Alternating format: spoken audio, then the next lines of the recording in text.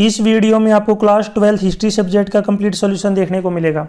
यदि आपको और भी सब्जेक्ट की वीडियो देखनी है तो मेरे YouTube channel M S education TV के ऊपर जाके देख सकते हैं।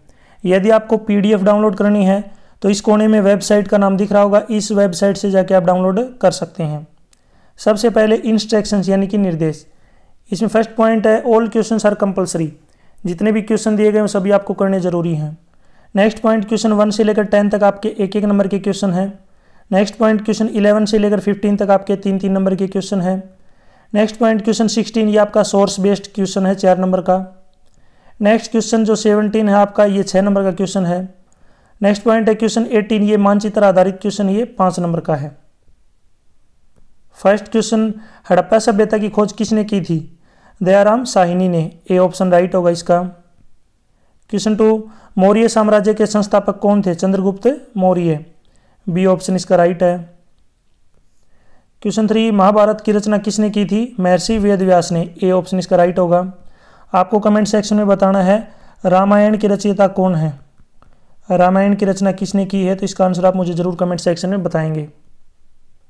क्वेश्चन फोर निम्नलिखित में से कौन the story of Indian archaeology पुस्तक के लेखक थे? तो ये कौन थे? ये थे एस एन राव इसका राइट आंसर हो जाएगा अपना option C S N Rao question five, निम्नलिखित में से कौन सा भारत का सबसे पुराना स्तूप है जिसका निर्माण मौर्य राजा अशोक के द्वारा करवाया गया था? साची स्तूप। सी जो ऑप्शन है, इसका राइट होगा। क्वेश्चन सिक्स और सेवन ये आपका जो है ब्लैंक क्वेश्चन है। Filling the blanks question six है, धर्मशास्त्र के अनुसार विवाह है। डैश प्रकार के होते हैं। तो आठ प्रकार के होते हैं, इसका राइट आंसर होगा। क्वेश्चन सेवन सिक्कों के अध्ययन को डैश कहा जाता है।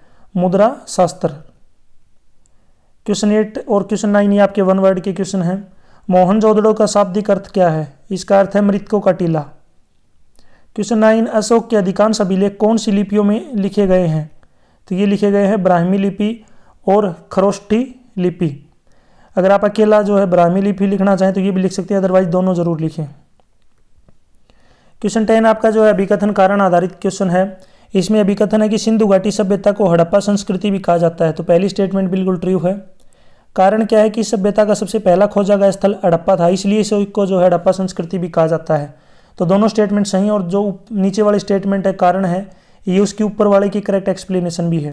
तो इसका आंसर हो जाएगा अभिकथन ए और कारण आर दोनों सही हैं और कारण आर अभिकथन ए की सही व्याख्या है। क्वेश्चन इलेवन हड़प्पा सभ्यता के विनाश के कोई दो कारण लिखिए। बाढ़, महामारी और जलवायु परिवर्तन, ये इसके विनाश के कारण थे। क्वेश्चन ट्वेल्व स्तूप क्यों बनाए जाते थे? चर्चा कीजिए। इसका उत्तर है स्तूप।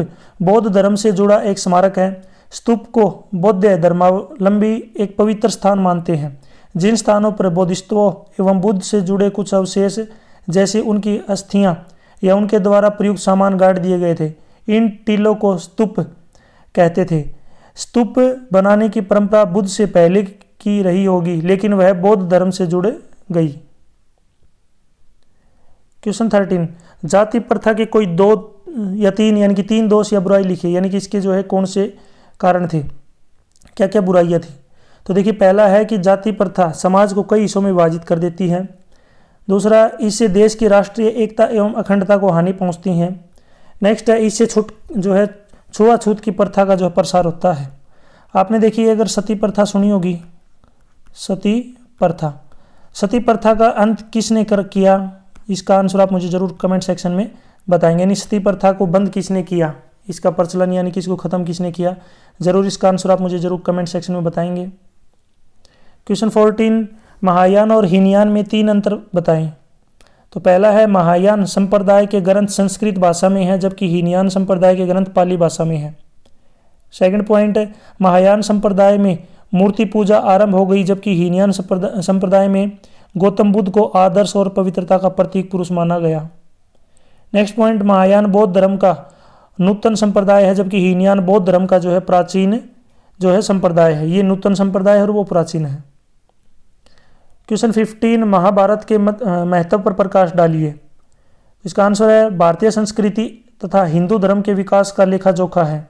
पहला पॉइंट इसका। सेकंड पॉइंट है, यह एक बहुआयामी ग्रंथ है।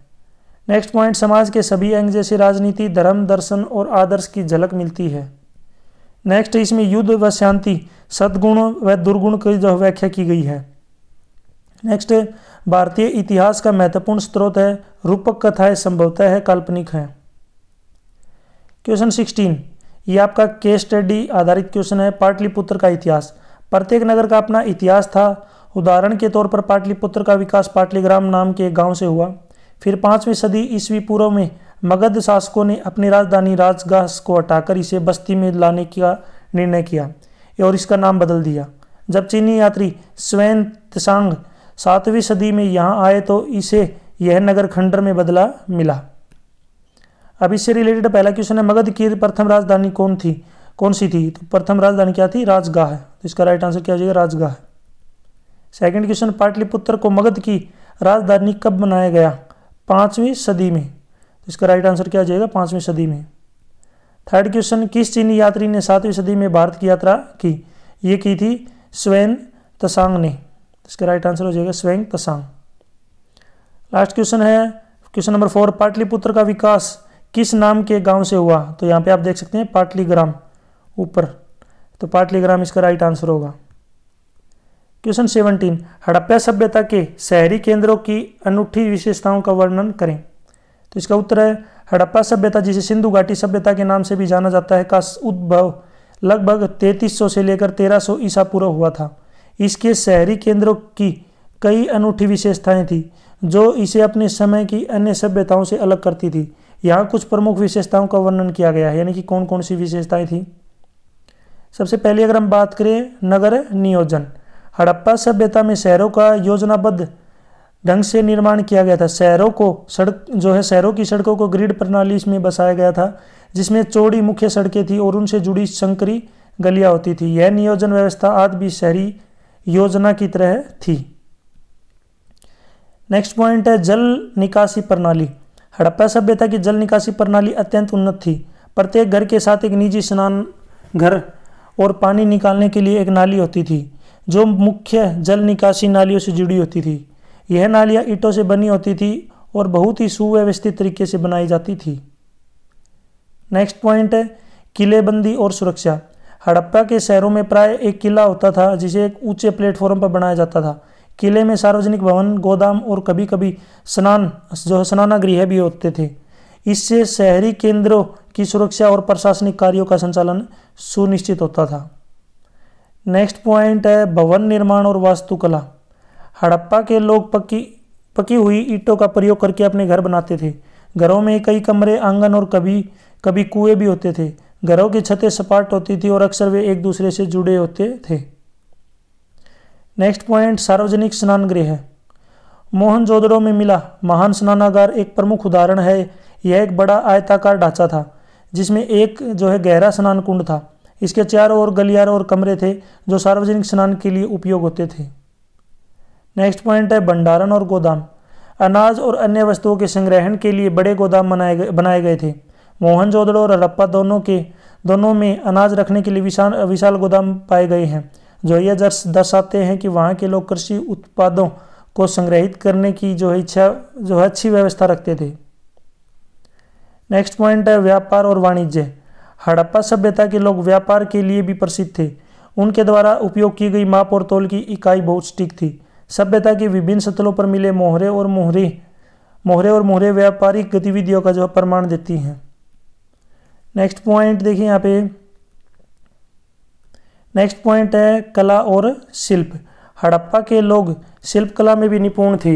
वहाँ से मिले टेराकोटा, पत्थर और धातु की मूर्तियाँ, बर्तन, गहरे और अन्य शिल्प कृतियाँ उन, जो है उनकी उत्कृष्ट कला को दर्शाते हैं।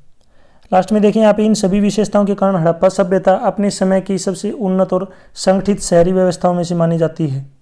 अब हड़प्पा की खोज आपको पता होगा कब हुई थी और किसने की थी, हमने ऊपर डिस्कस कर लिया। आपको बताना है ये कौन सी जगह पे है? हड़प्पा जो जगह मिली है, मिली थी, ये कौन सी जगह पे है? तो ज़रूर इसका आंसर आप मुझे ज़रूर कमेंट सेक्शन में बताएँ, जगह का नाम। क्वेश्चन एटीन देखिए दिए गए भारत के रेखा मानचित्र पर निम्नलिखित को दर्शाएँ। तो यहाँ पे देखिए, मानचित्र के अंदर जो लोकेशन इनको दिखानी है, यहाँ पे मैंने ये ले नहीं रखा क्योंकि मैं आपको अलग से मानचित्र की जो है वीडियो प्रोवाइड करवाऊँगा। उसमें कौन कौन सी जो इंपॉर्टेंट चीज़ें हैं वो हम डिस्कस करेंगे। यहाँ तक वीडियो अपनी कंप्लीट हो चुकी है। वीडियो अच्छी लगी तो उसको लाइक करें, अपने दोस्तों को ज़रूर शेयर करें। और भी वीडियो देखनी है तो मेरे YouTube channel M S education T के ऊपर जाके देख सकते हैं। यदि आपको पीडीएफ डाउनलोड करनी है तो इस कोने में वेबसाइट का नाम दिख रहा होगा। इस वेबसाइट से जाके आप डाउनलोड कर सकते हैं। यदि आप मुझे फेसबुक इंस्टाग्राम और टेलीग्राम पे फॉलो करना चाहते हैं तो इसी वीडियो के डिस्क्रिप्शन में आपको लिंक मिल जाएगा, वहाँ से आप मुझे डायरेक्ट फॉलो कर सकते हैं। Thanks for watching